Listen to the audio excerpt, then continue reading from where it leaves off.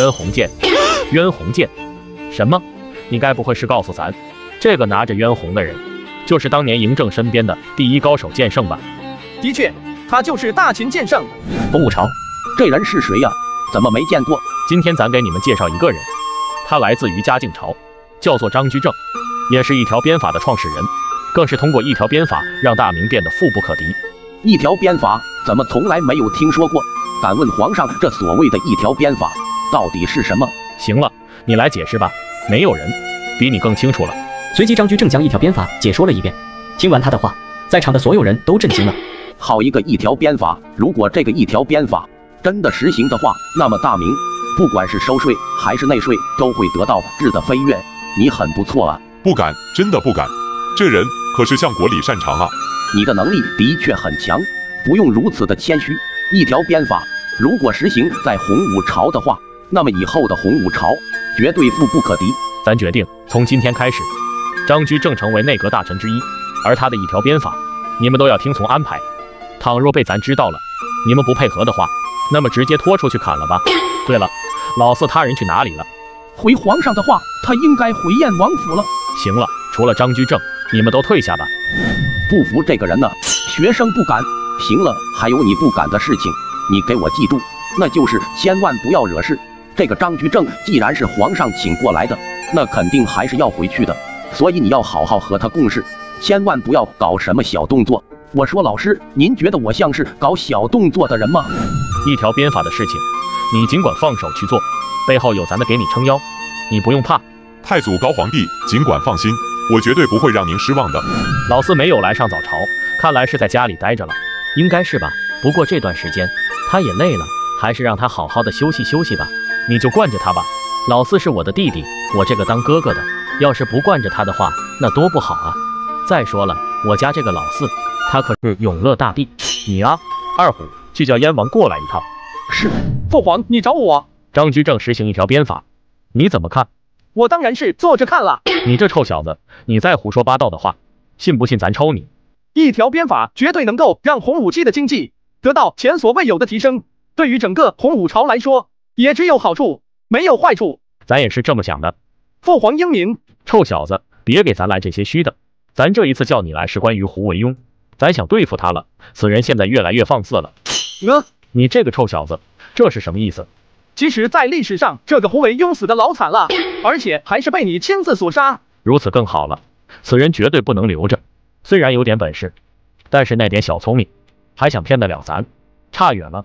父皇，您想不想看看胡惟庸的下场？好啊，那就看看吧。奉天殿，现在天已经热了，咱要和妹子去避暑山庄避一下暑，所以想让你做几个月的皇帝。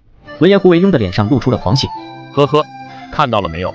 这胡惟庸野心很大啊，咱就是想让他做几月的皇帝，看把他给激动的。对了，这是洪武多少年？这个时候应该是洪武十三年。你的意思，胡惟庸很有可能就是在洪武十三年死的。把很有可能去掉，他就是在洪武十三年死的。而且这件事情维持到洪武二十三年都没有结束。老爹，你可真牛逼啊！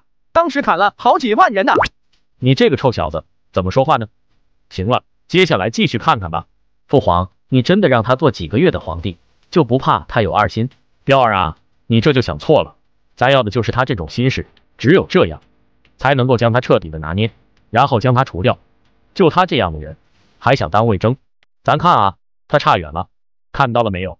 咱还是很聪明的，不管是在哪个朝代，不管在哪个时空。那是当然了，父皇还是很厉害的。行了，直接看看他的下场吧。我明白了，这都是你故意的，你就是为了想置我于死地吧？你猜对了，能够猜到这一步，也是说明你不傻啊。你的死期到了，要怪就怪你自己了。谁让你太过于功高盖主？咱不能留着你。咱好好的想想，怎么杀你比较好呢？咱好好的想一想。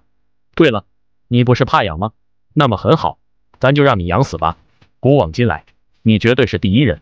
最终，胡惟庸被绑在一棵树上，被无数的蚊子叮死了。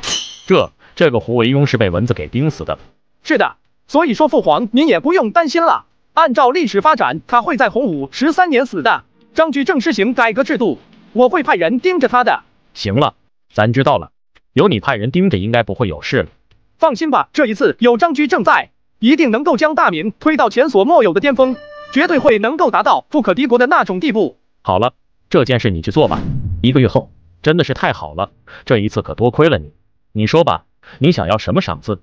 回皇上的话，既然这里的事情都解决完了，我想回家晋朝。你想回去了？一条鞭法的实行已经开始了一个多月，洪武朝有无数的能臣干将，有他们在，绝对会推动的更好。你这话说的倒是好听。